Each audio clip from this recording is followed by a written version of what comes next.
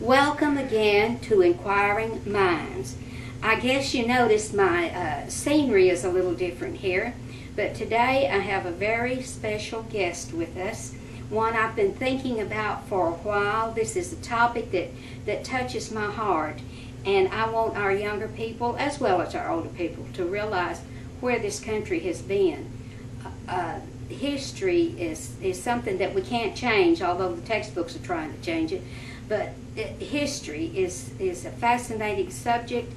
Our younger people particularly need to know about the history and why they have the freedom to do what they uh, what they do today. The freedom of speech, freedom of press, uh, freedom of religion, and right to bear arms and things like that that was fought for. It was not something just given to you, it was fought with blood and tears and bullets. And I have with me today Mr. Lupe Montalvo, who is a retired Marine. Welcome, Mr. Montalvo. And first of all, let me shake your hand and say thank you so very much for your service to our country. Thank you. It's my pleasure to meet you. Uh, would you tell us something about your time? Now, Mr. Uh, Montalvo retired from the Marines. When did you join the Marines? What year? I, joined in October 1947, and then uh, I, I enlisted. I, at 47, I joined Reserve Unit in Little Rock, Charlie Company, 15th Infantry Battalion. And then after I graduated from high school, uh, the Korean War started and our reserve unit got called up to active duty.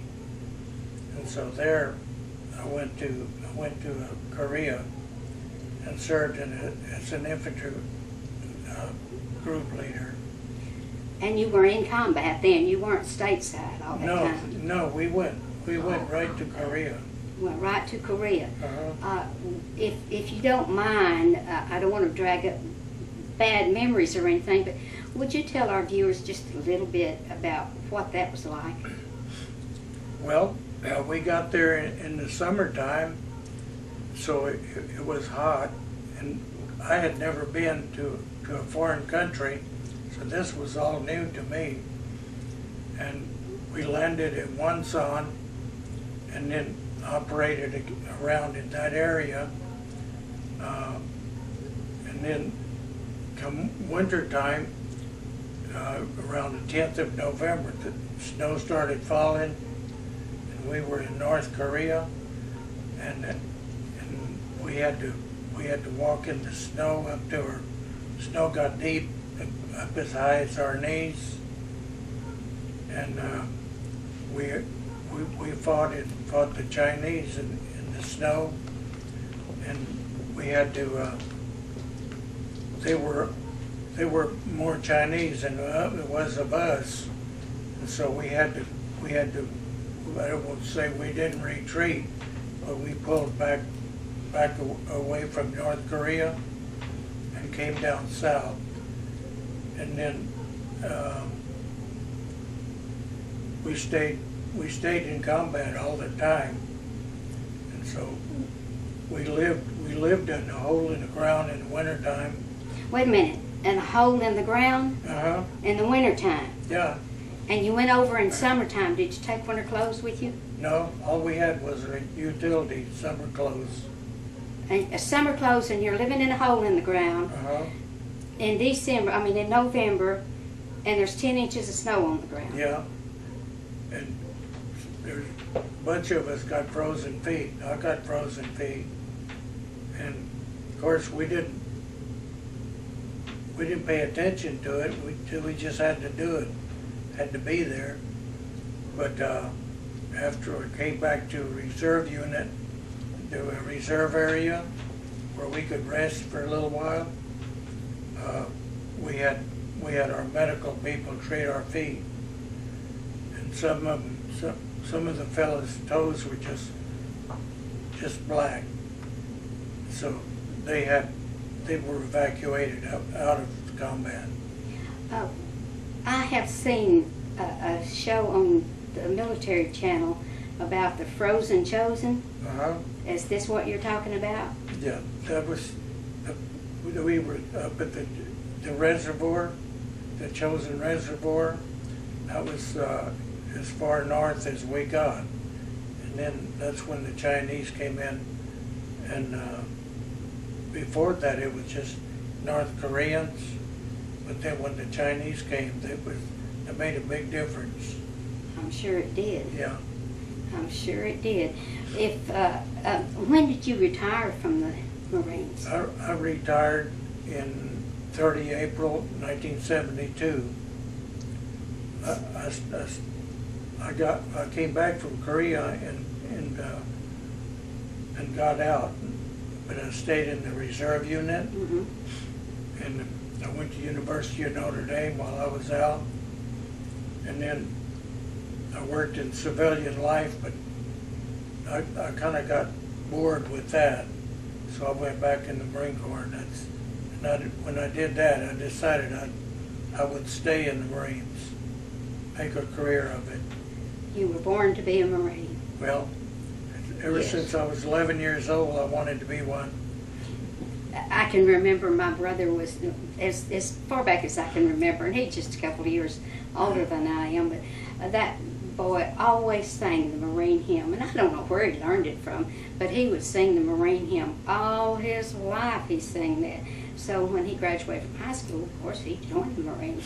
Well, that was it. I don't know where I first heard it, but it was, I was in, in grammar school and, and we, we learned the Corps hymn and we always, I say we, the boys, hmm we always sang the Corps hymn. I understand that. So if you were uh, uh, in the Marines during the later 60s and early 70s, did you uh, go to Vietnam? Yes, I did three tours in Vietnam. Three tours. Mhm. Uh, I, w- I went in 60, 1966. Well, we left San Diego in 65, and we did, we stayed at Okinawa to get oriented to the temperature. Uh, and, and then we went down south, we call it down south, we went to Vietnam mhm. and operated out of, uh, we landed at Chu Lai, which is south of Da Nang. And then, and then, uh, uh, we moved up to Hue, and we, we fought in Hue, the city of Hue, And then, then our unit moved all the way up to Dong Ha, which is up north, northern part of Vietnam. Um, and, uh, we, we did operations around there, and I got, I got heli-lifted out of, out of Dong Ha. Okay, you did operations there. What do you mean by operations? Well, we had, we had combat, uh, we, we fought, we fought the Vietnamese at, at those places. And that's why we call them operations, because the whole unit, our whole unit went, went into an attack phase. And, uh, we always, when you always there, then you always had had combat with with the VC, the Viet Cong. Uh, tell me, if you don't mind, what was the worst part of being a Marine? The worst part, Yes. oh, probably going through boot camp. I expected you to say being in battle in Vietnam or, or North or, or Korea or something, but being in boot camp. What was so bad about boot camp? Well, it was, uh. First of all, you're coming from civilian world, and then you're thrown into this military organization where drill instructors are breaking you down from civilian attitude teaching you military military training and discipline. And that's that's uh, the way they do it is they're real stern and everything is is regimented. And so that's a completely whole new way of life. And uh, they don't they didn't mess around with you. You they were pretty stern. It wasn't a Gomer Pyle USMC thing, was no, it? it wasn't. Uh, no, I see these movies on TV about about these war stories, and I tell Olga that that that's not that, that's that's Hollywood talking. That's Hollywood. That's not the real version. No, uh, Uh, what kind of medals did you earn when you were in uh, during your whole career? oh, I have. Um, of course, you have the United Nations Medal, the Korean Service Medal, uh, Good Conduct Medal, the Vietnam Service Medal, uh, Navy Unit Commendation, uh, uh, Vietnam. There's a couple other Vietnam medals. Uh, Your shooting ability. Oh, well, yeah, that was, that was, every Marine has to qualify with, with the rifle. And, and as you become, you become staff NCO, then you're, you also have to qualify with the pistol. You got Because, Purple Heart. because, because you're, you're, uh, armed with the pistol. Mhm. Other than that, Uh, did you receive a Purple Heart? yes, I did. Do you want to tell us about that? Well, it wasn't a whole lot to talk about, except I got, I got shot in the, in the arm, and then in Vietnam, I, I stepped on a punji stake. The Vietnamese had, had punji stakes that they had stuck in the ground, Mm-hmm. and then they'd cover them up.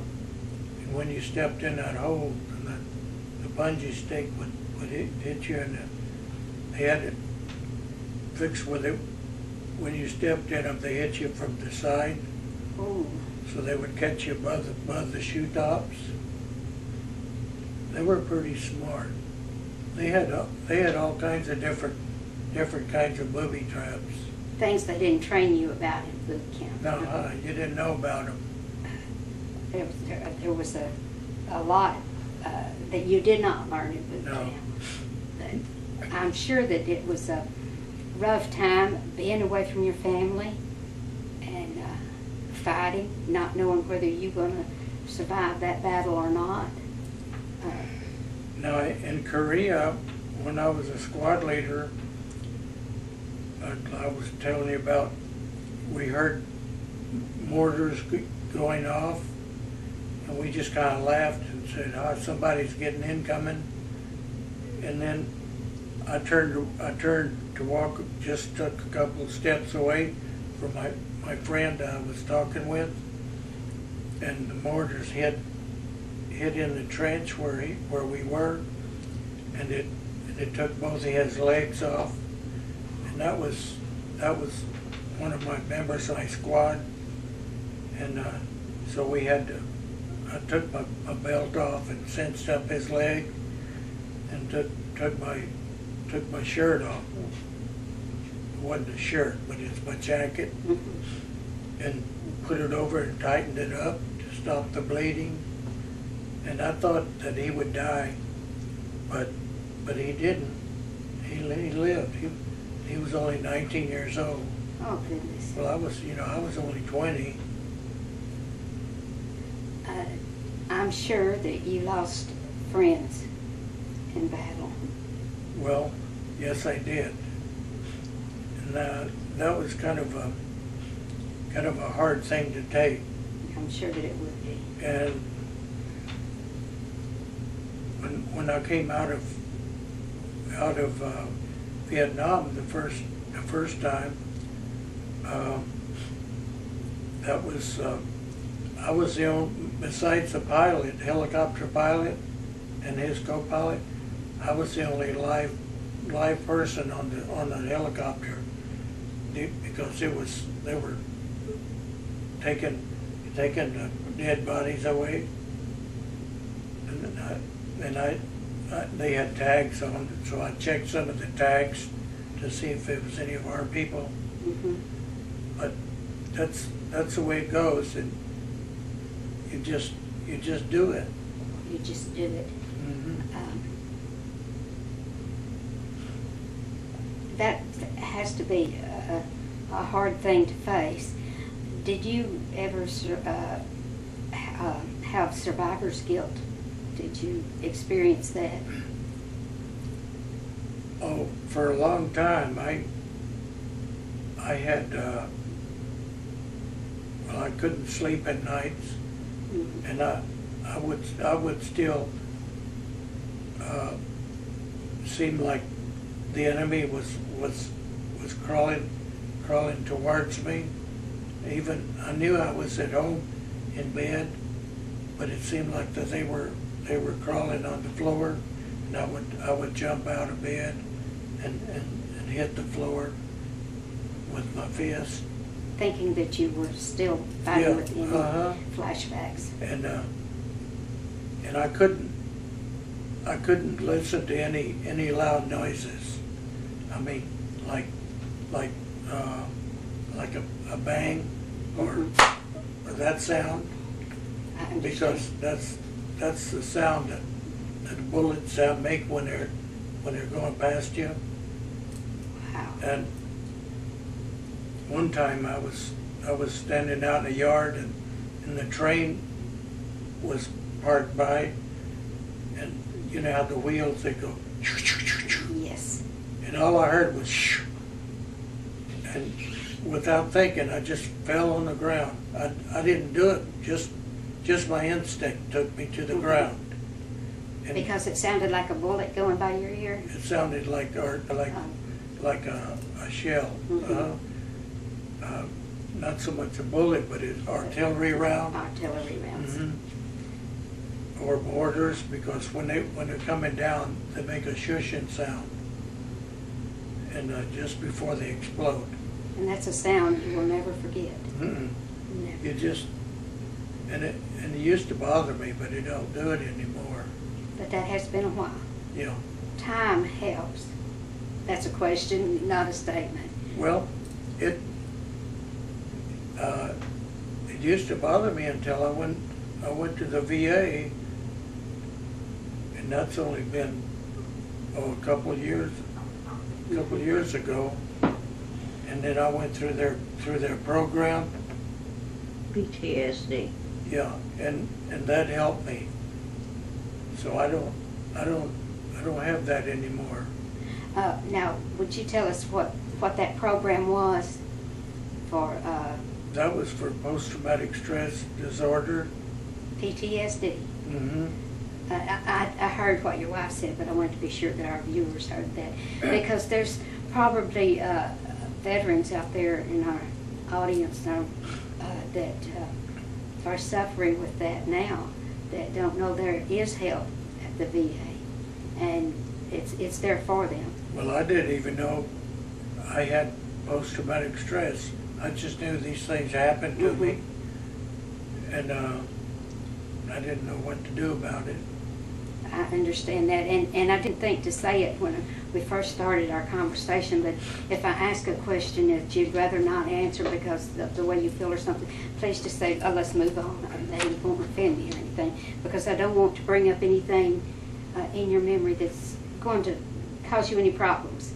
But I, I, I feel like it's important for our, our viewers to know what happened uh, during war, what happened to our servicemen and women, what they went through, so that we can enjoy the freedoms. And I realize a lot of our freedoms are being taken away from us, but we still have a lot of freedoms that you and the other uh, military people fought for.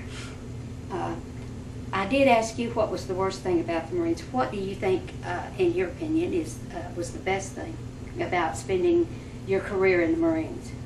Uh, the, the best thing for me was, was traveling and seeing foreign countries. Uh, it- oh, Vietnam was a pretty country. if, if it wasn't that, you know, that they, we we were there in combat, I, I really would have enjoyed being there. Uh, You were talking about the snow and, uh, when you were in the Korean War. Was there any snow or anything like that in Vietnam? How, what No. was the weather like No. there? Oh, in Vietnam, Yeah. it was, it was, you, wet and hot. Wet and hot. Uh-huh. That sounds like Arkansas in the summertime, doesn't Yeah. it? Yeah, it was, yeah, right. And it- When it wasn't raining, it was really hot, and it rained a lot. Did they have like uh, rainy seasons and dry seasons Yeah, over they there? rainy season and We dry have the season. four seasons: summer, winter, fall, and spring. And and uh, over there they have They, we, Crazy all we had was the two seasons, wet, yeah, wet and dry. wet and dry, that's right. I understand that. Uh, I want to ask this question. If you don't want to answer, that's fine. Knowing now, uh, having been through uh, two wars and all that you've been through, would you do it again? Yes. I, I would do it again, but I, I would, I wouldn't wish this on, on anybody else. I, I wouldn't want anybody else to have to go through what I did. I understand that. I mean, I, am not saying I understand how you feel, I mean, but I understand like what you're young- saying. Like young people, Mhm. the young fellas growing up, I wouldn't, I wouldn't wish that they'd have to go through what we did.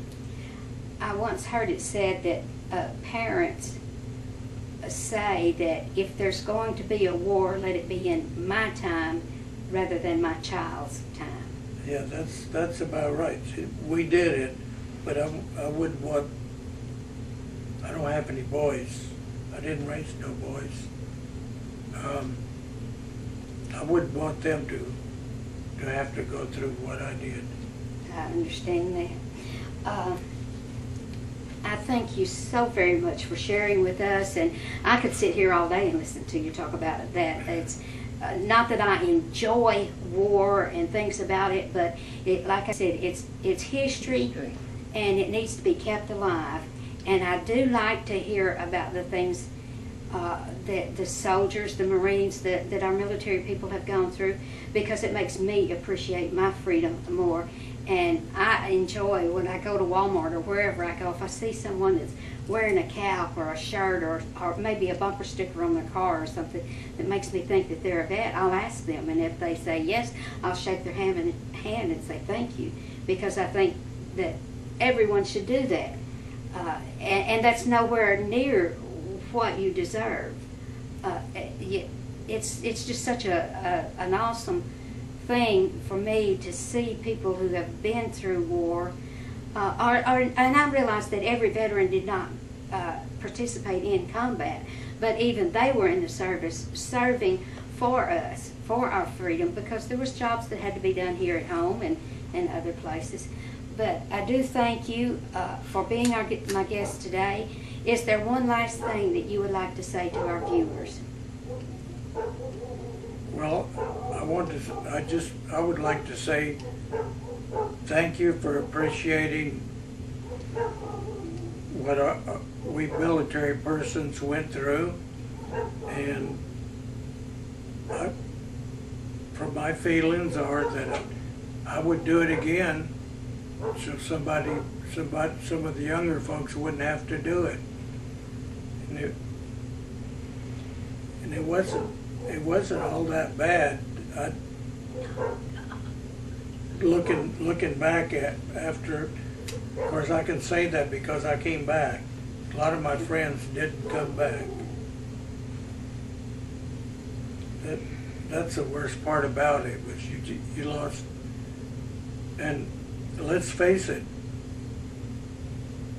like members of my squad, those were some of the best men that I ever served with, that I ever met, and that I ever knew. And there's, I don't know where some of them got evacuated, wounded, evacuated, and I never saw them again. But I'd like to. And I'd like to know how they are. And Kenny was the only one that I kept up with. Mm-hmm. And Kenny was the one that lost both of his legs. I He's remember you passed telling away us now. that. Uh, Well, again, I want to say thank you so very much uh, for, for serving for me and for our viewers, for allowing us into your home to visit with you. And you uh, showed this to me that was in your scrapbook. And to close out the program today, I want to read this. It says, A Marine died today of a war that he had fought in and the deeds that he had done. In his exploits with his buddies, they were heroes, every one. And though sometimes to his neighbors his tales became a joke, all his buddies listened, for they knew whereof he spoke. But we'll hear his tales no longer, for old Bob has passed away, and the world's a little poorer, for a Marine died today. He won't be mourned by many, just his children and his wife, for he lived an ordinary, very quiet sort of life. He held a job and raised a family quietly going on his own, and the world wouldn't note his passing, though a Marine died today. When politicians leave this earth, their bodies lie in state, while thousands note their passing and proclaim that they were great. Papers tell of their life stories from the time that they were young, but the passing of a Marine goes unnoticed and unsung. Is the greatest contribution to the welfare of our land some jerk who breaks his promise and cons his fellow man, or the ordinary fellow who, in times of war and strife, goes off to serve his country and offers up his life? The politician's stipend and the style in which he lives are sometimes disproportionate to the service he gives, while the ordinary soldier who offered up all his is paid off with a medal and perhaps a pension small. It's so easy to forget them, for it is so long ago that our Bobs and Jims and Johnnies went to battle, but we know. It was not the politicians with their com- compromise ploys who won for us the freedom that our country now enjoys. Should you find yourself in danger with your enemy at hand, would you really want some cop out with his ever waffling stand? Or would you want a Marine who has sworn to defend his home, his kin, and country and would fight until the end? He was just a common Marine, and his ranks are growing thin, but his presence would remind us we may need his like again. For when countries are in conflict, then we find the Marine's part is to clean up all the troubles that the politicians start. If we cannot do him honor while he's here to hear the praise, then at least let's give him homage at the ending of his days. Perhaps just a simple headline in the papers that might say, Our country is in mourning